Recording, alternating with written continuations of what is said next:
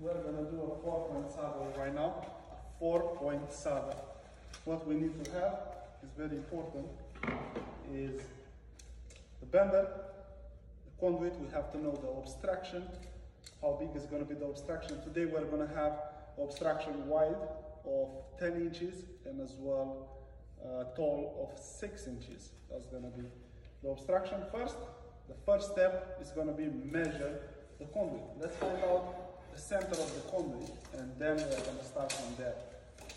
The center of the conduit is gonna be, the, the length of the conduit is 75.5 inches which means it's gonna be three feet and a, uh, six feet and a bit.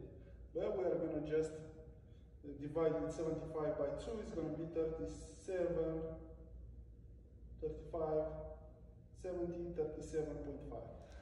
37.5, that's gonna be the center, alright?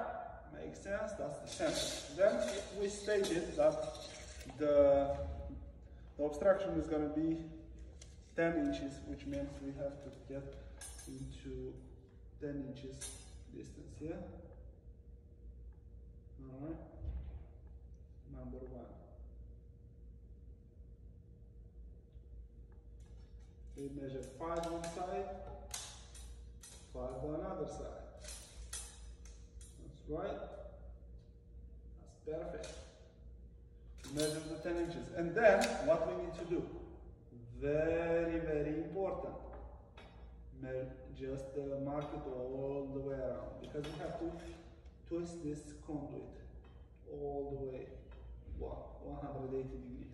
we have the the markings to the side then we have to understand what is going to be the obstruction. Obstruction is six inches which means we have to understand what is the multiplier. Multiplier is two which means we are going to multiply 6 by 2 and we are going to just mark uh, from bend 1 to bend 2 what we are going to mark?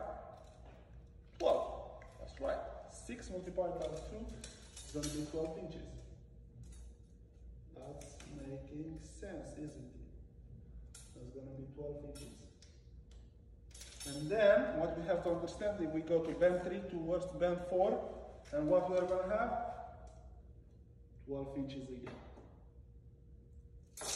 What else we are going to do now? We are going to mark it all the way around. We're going to rotate this on it. We have 12 inches one side, 12 inches on the other side.